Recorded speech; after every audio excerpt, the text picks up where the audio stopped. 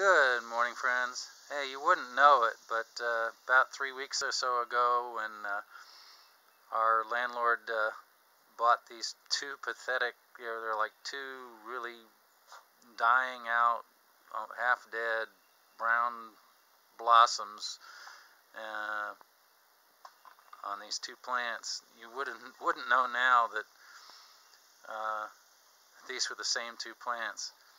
It's amazing what a little good soil and food and water and love and care will do, the thought occurred that uh, the same is true with people. And uh, I have another flower here I want to show you. That flower is my wife Carrie.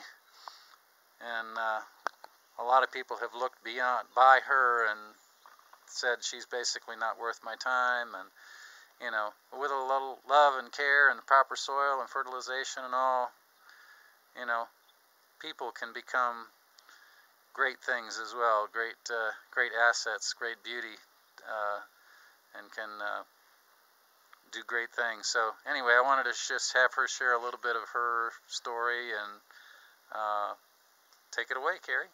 Hey, yeah, you know, one of those flowers that grew over time with like a TLC, I call it. I'm a flower and died and anyway, my story, most people know, but many of you don't know, is that I survived an abortion attempt on my life. My mother tried to abort me 47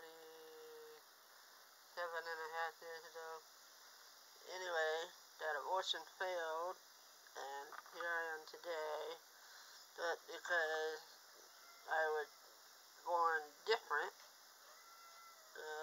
I was like that discarded flowers that people just looked over and passed by and didn't think was worth the time. But you know what? God thought I was worth the time. And God, in His love and tender compassion and grace and mercy, has made me who I am today.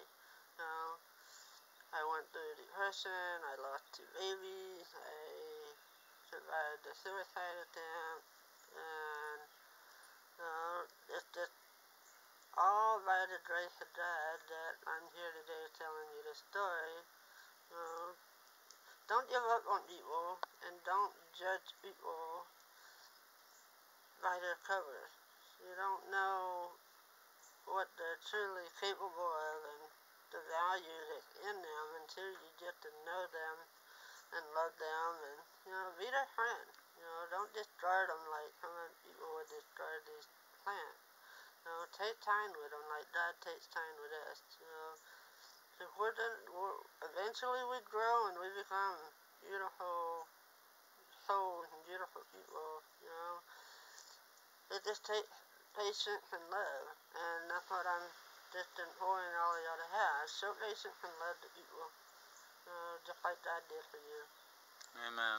And you know, our our heart is to, at some point, God willing, uh, to perhaps adopt uh, a child who has been otherwise forgotten, who hasn't had the opportunity to uh, continue to be raised by their own mother and father, um, for who knows what circumstances uh, perhaps a special needs child. Um, I know Carrie especially has a heart for special needs children, and That's I have. just what I was going to say because special needs children, especially Down syndrome, are often targeted for abortion because they're not deemed worth the time, that they're not as soon, they don't have much of a life order for this to go me.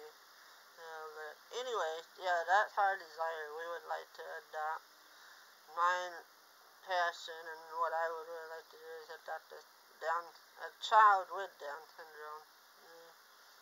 Mm. Amen. So be praying with us about that. Um, you know, it would have to be totally God at this point. Uh, you know, and that's a good place. You know, we're we're in a place where only God could make that happen, and when God can make it happen, and it happens, God gets the glory for it. So uh, we know He can. It's just a matter of His timing and his will for us. So thank you all.